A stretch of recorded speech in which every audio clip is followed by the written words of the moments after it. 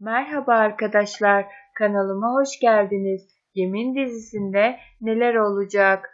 Kemal Masal'ın velayetini alabilecek mi? Kemal Halil'den kurtulacak mı? Masal travmayı nasıl atlatacak? Öncelikle Kemal Masal'ın velayetini alsın, Masal daha fazla üzülmesin diyorsanız like atın sayımızı görelim.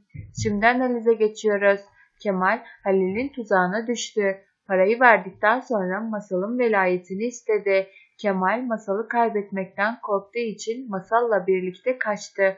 Kemal paniklediği için doğru kararlar veremiyor. Narin Kemal'e doğru yolu gösterecek. İkili uzun bir konuşmadan sonra doğru yolu bulacak. İlk etapta Masal'ın evlatlık verildiği hastaneye gidecek. Kemal bir ipucu bulacak. Halil'in para aldığını itiraf ettiği görüntüye ulaşacak. Kemal ele geçirdiği bu görüntülerden sonra rahat bir nefes alacak. Masal Kemal'in kızı olmadığını duydu. Masal bunu çok zor kabullenecek. Masal'ın üzgün olması Kemal'le Narin'i derinden etkileyecek. Eski Masal'ın geri gelmesi ve mutlu günlerine dönmesi için Kemal'le Narin birbirlerine sımsıkı sarılacaklar. Bakalım ilerleyen bölümlerde bizleri nasıl sahneler bekliyor olacak. Sizler de fikirlerinizi yorumlarda yazarsanız sevinirim.